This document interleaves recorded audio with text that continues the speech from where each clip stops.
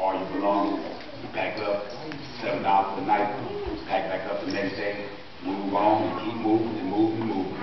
And there's the explanation of a no bag. All right. Amen. So four for years old. Okay, and who was Abram and Sarai? Yeah. Someone else want to answer? Who was Abram and Sarai? Abram and Sarah. Use the mic. She all right. Use the mic. They was husband and wife. And what happened?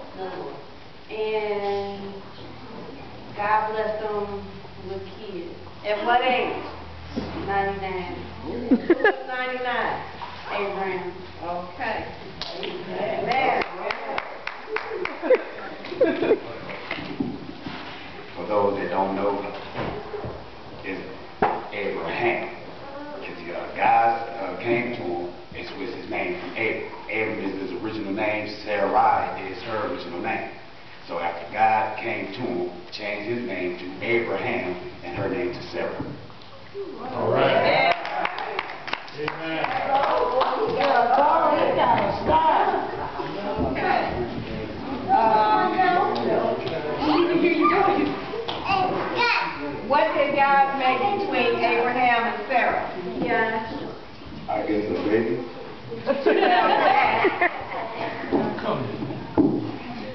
God made a covenant with Abraham. Oh, you know, I'm. Know it all. know it all. He made a covenant. Those who don't know what a covenant is, a covenant is a promise. He made a promise between him and Abraham. Okay, all right. Amen. You must keep the mic. Okay, that was the basis of lesson one. Lesson two, we talked about judges. And let's see if you all can remember these answers. Who was the leader of the Israelites in a successful battle against the Moabites? Ehud. Okay, Ehud. Who had a revelation from God that the Israelites would be able to overpower the Canaanites in battle? They did with the leadership of Barak and this judge. Yeah. Deborah. Okay. Go, go put the mic up to your mouth. I'm speaking loud, I'm loud. No, we can't. I hear can you. hear you. Okay. So who was- Deborah, Deborah. Go ahead. Who was called by God to deliver his people from the Midianites? Samson. Sam? No, Gideon. Gideon. Okay, Gideon. Who was known for his strength and dedication to rescuing the people of Israel from the Philistines? Samson. Okay. Who grew up in the temple where he learned about God from an elderly priest? Samuel. Okay. Now, who can, uh, Mikey, can you explain who Samuel was? Can you, brother, uh, Hunter? Yes. Come on, Mr. Know-it-all. Yeah. And who his mother was? Samuel, the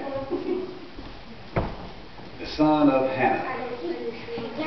Hannah went to the church, prayed to God because she's been made fun of because she didn't have any children. So she asked the Lord to bless her with a son, and he would, she would turn her son back over to the Lord. Priest Eli, he blessed, well, he prayed over her and sent her on her way. She turned around and had a son, Samuel. No, Samuel. Three years later down the line, Hannah took Samuel back to the church where Eli prayed and sent her on her way. And she turned him over to Eli so he could learn the ways of the Lord. Now, while he was there with the priest, he kept hearing voices calling out his name. And he was going to Eli, thinking that it was Eli calling out his name, but in all actuality, it was God. So Eli told him after the third time to go back to bed, and when you hear your name being called again, say, Lord, I am here. What is it that you want? Stop. And he did so.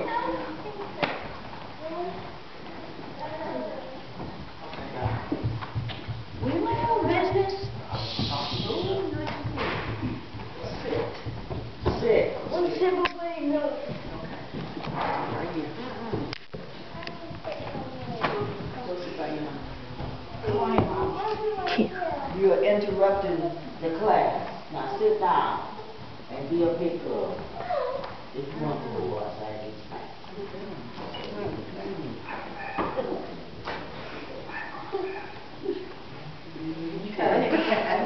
What's your name?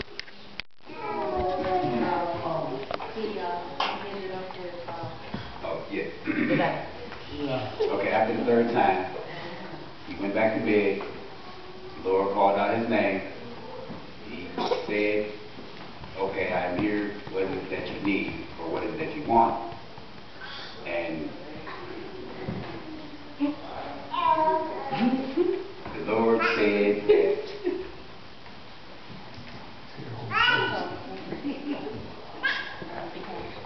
He said that Kia forgot. He said that he forgot.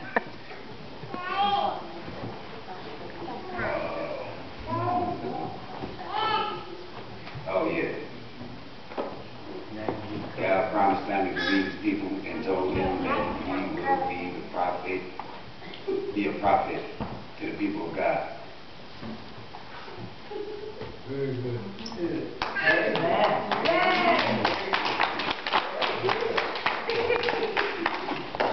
So what, basically, uh, the the moral of both of these stories are, no matter how old you are, no matter how young you are, God can call you, and you have a purpose in life. And just remember, Samuel was only three years old when God called him, and God called him for a purpose.